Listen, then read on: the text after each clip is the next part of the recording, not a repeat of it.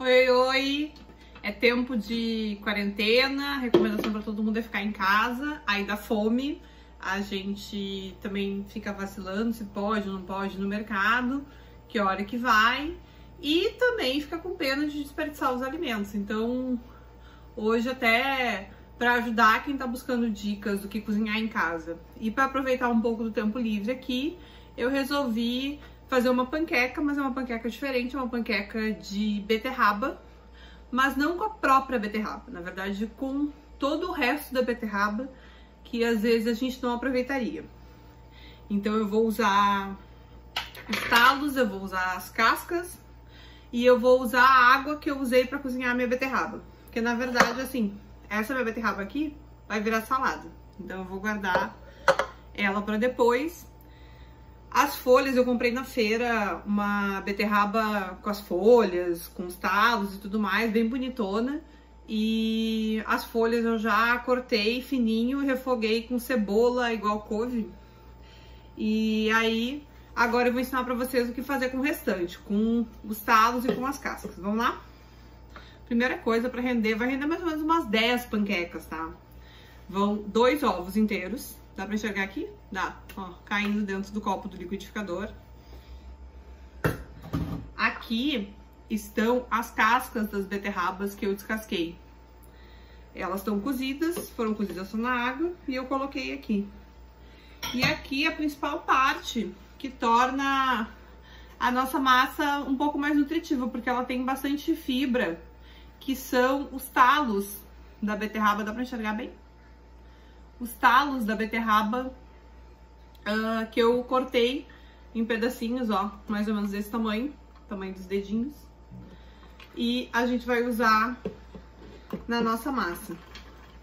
Eu diria que aqui tem um pouco mais que uma xícara de talos de, de beterraba. Uh, e talvez a gente tenha que usar talvez um pouco mais de farinha, um pouco mais de água. Agora, quando a gente for bater a nossa massa, a gente vai descobrir. Aí a gente coloca também com esses, com esses ingredientes, coloca uma pitadinha de sal, me abaixando pra pegar o sal aqui, que o deve estar tá ali embaixo. E vamos lá. Primeiro, ah, e nesse copo aqui eu esqueci de dizer, tá a água do cozimento da beterraba. Que eu achei, resolvi aproveitar, porque também aqui tá as vitaminas e porque também ajuda a ficar com aquela cor mais bonita da beterraba. Então aqui tem 350 ml de, da água do cozimento da beterraba. Eu vou colocar só um pouquinho aqui, derramar um pouco no balcão também, pra gente só primeiro conseguir bater esses talos. Aí agora vai ficar aquele barulho bom do liquidificador, maravilhoso, a gente vai botar pra funcionar aqui. Aí a gente pega e faz assim, faz aquela mágica, que não é TV, vira a câmera, muito bem.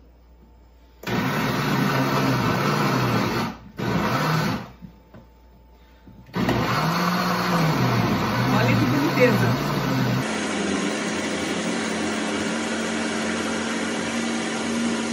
Eu agora vou desligar um pouquinho para mostrar para vocês. Aí aqui dentro desse potinho tem uma xícara de farinha, tá? Aí a gente vai colocando aqui com o liquidificador ligado mesmo aos poucos, pra ver se a nossa massa vai pegar o ponto. Vamos lá?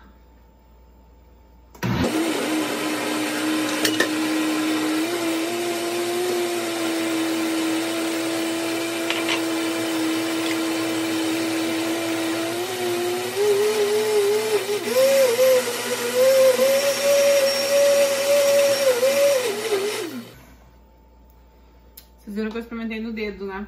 Que era pra ver se a massa tinha sal e como é que tava o ponto dela. Ela tá bem grossinha, mas eu acho que ela tá ok de farinha. Eu vou colocar o restante da nossa água.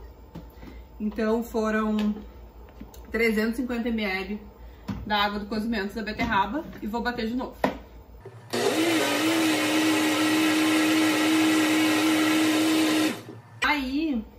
a gente vai olhar agora, em tese, nossa massa está pronta. O truque que eu aprendi desde pequena para saber se a massa da panqueca tá boa. Uh, na verdade, são dois os truques, tá? Um é o que tu vê no liquidificador, que você coloca a mão, a mão tá limpa, né, gente? Mão de cozinheira, tá limpinha. Vê se tu sente um pouquinho de farinha nos grãozinhos, fazendo esse movimento com os dedos. Eu sinto, eu acho que tá boa. Mas a prova dos nove mesmo é na hora que a gente vai fritar as nossas panquecas. Então, eu deixei a frigideira preparada aqui. Vou fazer a primeira puxando a câmera, ó. Olha só, é praticamente uma grua, gente. E vou fazer a primeira panqueca. E aí a gente vê se, se vai funcionar, se a massa tá boa, se precisa de mais farinha ou não. Porque daí vocês também veem qual é o ponto da massa e a cara da panqueca. Eu vou fazer uma aqui, ligar o fogão. Deixa eu ver se eu consigo focar na minha frigideira. A gente põe essa panela pra lá. A gente põe o liquidificador pra cá. É o primeiro vídeo, né, gente? Nunca fiz isso, então é o seguinte, tá funcionando, tá? A gente coloca com a frigideira ligada, uma gotinha de óleo e usa uma toalha de papel para espalhar. É uma frigideira antiaderente, essa aqui é minha frigideira preferida de fazer panqueca. Pelo tamanho, porque ela não gruda. São duas qualidades. Essa massa fica melhor de trabalhar se a gente deixar ela parada uns 20 minutinhos. Mas como eu não vou ter edição nesse vídeo, eu quis mostrar pra vocês como é que é feito na hora. E a nossa massa.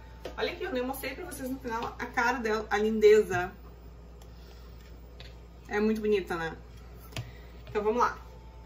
Esquentou minha frigideira. Agora eu vou pegar, deixa eu ver se tem um jeito de eu não atrapalhar. É, vai ter que ser... Eu vou trocar a boca do fogão, gente. Se eu trocar a boca, não. Mantém essa, tá bom. Ensaio ao vivo. Ó, pega uma concha da massa, a frigideira tá quente, coloca em cima e gira a frigideira pra nossa panqueca se espalhar. Eu acho que a nossa massa ficou um pouquinho grossa demais. Mas vamos testar agora quando sair essa primeira panqueca. Pegando um prato para colocar as panquecas prontas.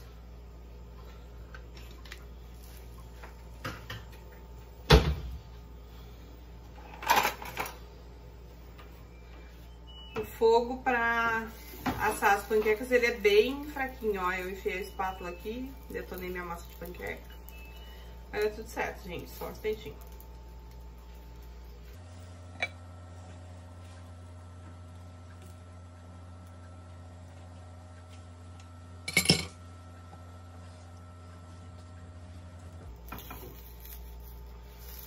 Ó, quando ela começa a ficar, ela fica toda assim, de uma cor de cozida em cima, a gente vira.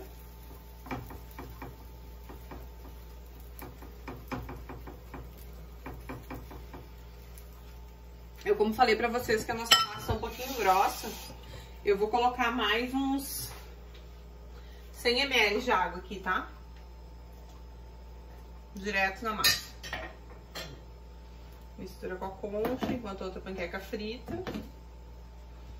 É, ela já tá com uma, um peso melhor.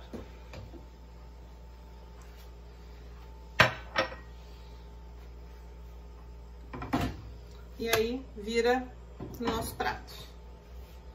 Vamos testar a próxima, ver se funcionou botar água.